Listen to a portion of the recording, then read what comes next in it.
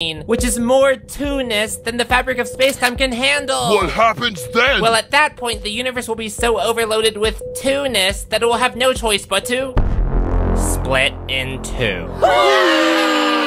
Oh my gumdrops, I had no idea the universe couldn't handle this much of me. Oh, Niall, does this mean we'll be torn in half? I honestly have no